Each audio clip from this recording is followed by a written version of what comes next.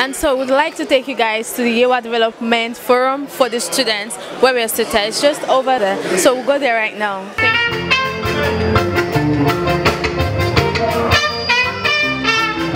Hi guys, this is a table for the Yewa Development Forum for student members. So I would like to introduce you to some of them. This is Alutri Latif. Say hi.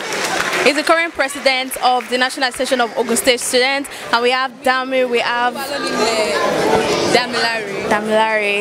Rashid Fatima. We also have Basira Oladiba. Yeah. And we have Abibat here. So let's enjoy the rest of the party.